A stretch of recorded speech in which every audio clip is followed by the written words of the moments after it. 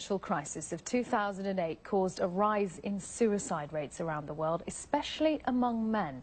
Researchers from Britain and Hong Kong said around 5,000 more people committed suicide in 2009 than would normally be the case. They said young men in Europe and middle-aged men in America were disproportionately hit by soaring unemployment. The Samaritans charity says one in six calls they received last year was about financial difficulties. That's up from 1 in 10 before the crisis.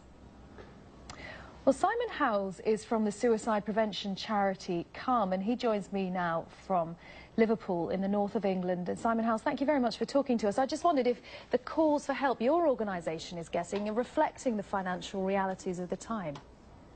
Well, yes, I think um, what's really key is the fact that people are struggling with what's going on around their worlds, and particularly for men, I think the loss of job and loss of finances and the ability to provide for their families or their future prospects is a major, major uh, pressure on them. Have you seen an increase in those calls?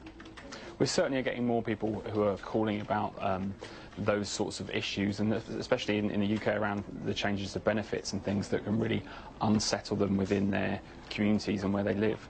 Yeah, just wondering what sort of what the conversations are like. What do they say to you? How, how do they feel that you can help them?